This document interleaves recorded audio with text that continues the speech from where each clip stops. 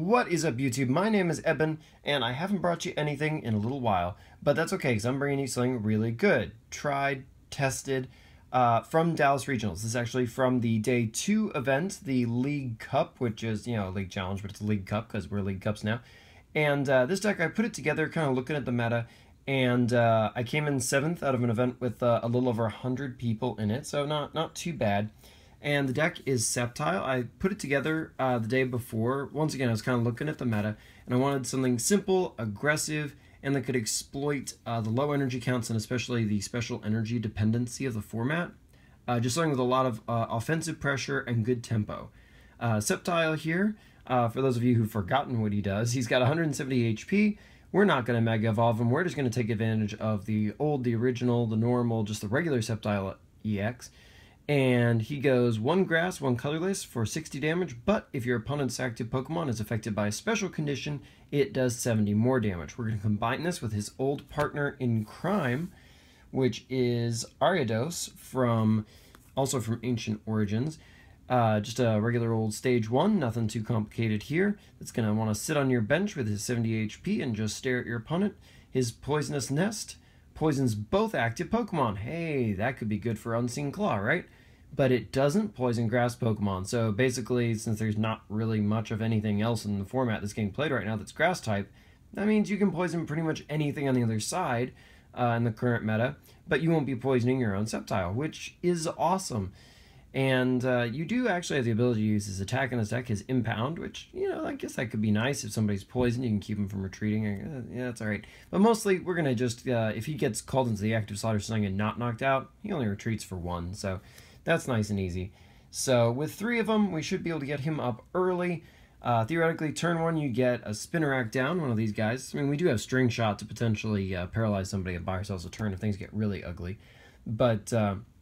Uh, 3-3 line here. The basic idea is turn one, you get a Sceptile into the active slot, you get a Grass Energy on it, and you have a Spinarak on your bench. Next turn, you get a second Energy here, and you evolve up to Ariados. It's that simple, and you deal, you poison them, you're going to deal 130 here, and then they're going to get poison between turns, which is 140. If you've got a Fighting Fury Belt here, that's 150 on your second turn, which could easily be your first attacking turn. That's pretty heavy pressure.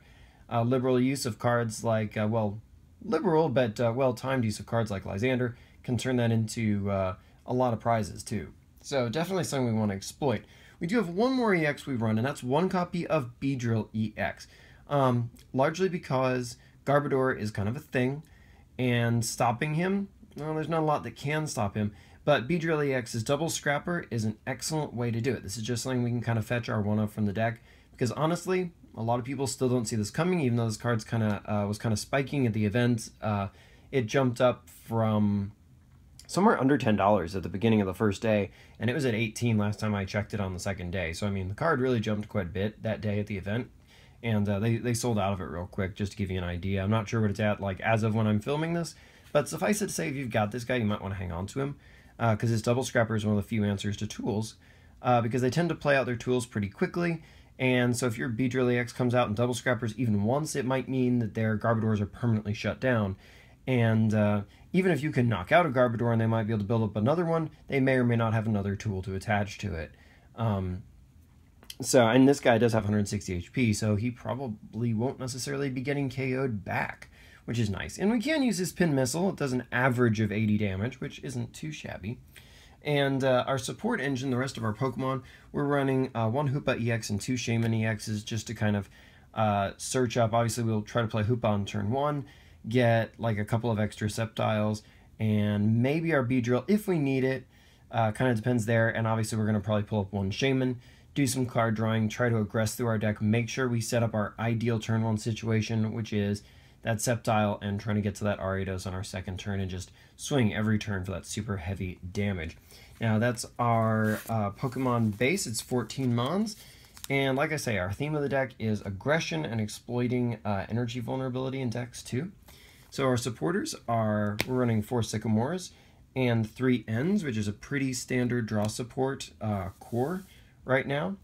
And we're running the double Lysanders because we want to be aggressive, like I say. So uh, the double Lysander is very good because it makes sure we can always call up the right thing to hit it hard and pick up two hit KOs on things we want to, with our opponents not being able to just retreat out of it because there's no AZ anymore, of course.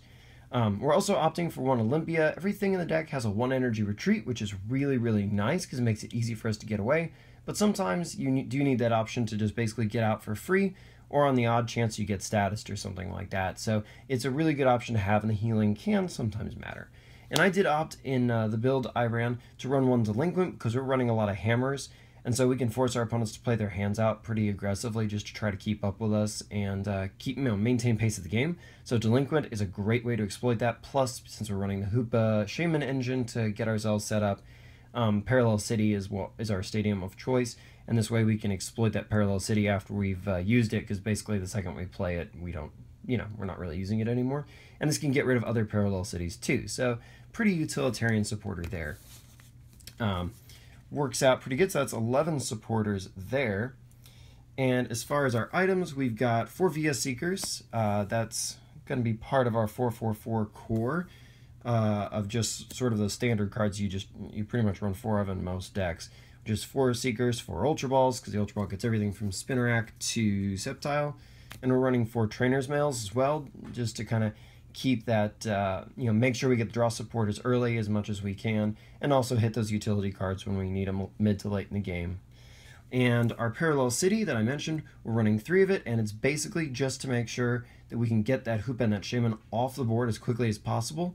Um, and of course, we don't want to play the uh, the city side of it toward ourselves because it will actually uh, decrease our damage. We can play it toward our opponents, and that does actually affect um, a number of decks by decreasing their output. Uh, things like uh, Greninja and even Volcanion, although I will be honest with you, Volcanion was the only deck that uh, I lost to at the whole event with this, uh, was Volcanion because it's just a nightmare matchup. It's kind of your one bad matchup. Um, but honestly, it, it has it struggles in a lot of its matchups too, so you don't necessarily pair against a whole lot. So I played it twice, lost to it twice, and one of those games I probably would have been able to win, except I prized two out of my three Ariados. So I was having a lot of, I was having a real hard time finding it.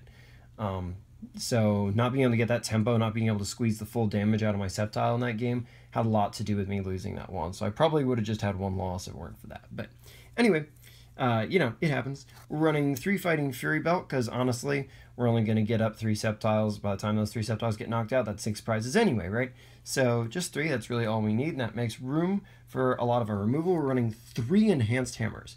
Some people are teching one, but that's kind of inconsistent. Uh, a lot of the decks I saw at Dallas Regionals were running two enhanced hammers, uh, which is pretty cool.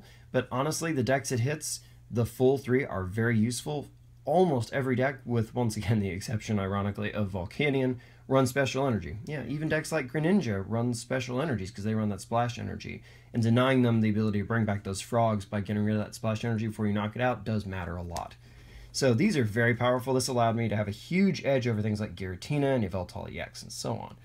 Um, and anything running Double Dragon, obviously, just uh, feared the card. But I'm also running four Crushing Hammers to really hit home. This can pick off things like those crucial Dark Energies or the handful of basic energies most decks run. Most decks have a very low energy count, of course, which means that these Crushing Hammers, only hitting about half of them on average statistically, still means you have a pretty good amount of energy removal here. And this also lets you uh, have just one more way to pull off those DCEs uh, because most decks will run that one special charge.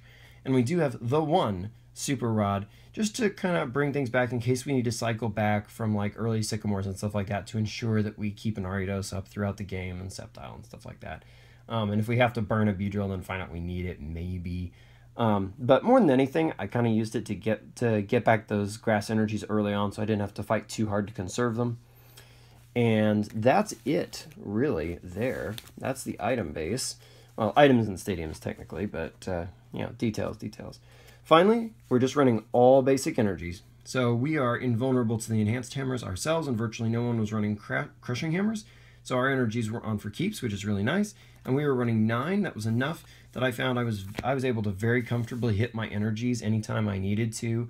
I never really had too many, and I um, I virtually never missed an energy drop almost ever. Um, I think once or twice, and I'd prized like two to three of them in those matches. But I mean, honestly, it was it was really kind of the ideal energy curve. I was thinking about running a tenth, but I'm really glad I didn't. Um, so that is the deck. It's simple, it's really powerful. I think I might have made some mods uh, if I'd been able to test it a little bit more, but honestly, it's a real sleeper of a deck. It's very powerful if you have a chance to play it at like a League Cup or something local to you, uh, especially if you're not expecting to see Volcanion. It is very much a deck that you should try out. It's very powerful. Uh, fiddle with it a little bit. You might be able to drop the Crushing Hammers, truth be known, depending on how much you think you need them. And you can uh, sub in various things. You might even be able to sub in like a weakness policy or a couple of other things to kind of help your Volcanion matchup if you do expect to run into one or two of those. Um, there are definitely tweaks you can make. So I'll leave that up to you. Um, like I say, there are a lot of directions you can kind of go with it, but it's, it's really effective the way it is. It's worth a try. And so, anyway, until next time, like, comment, subscribe, check me out on Twitter if you want, and I will see you next time.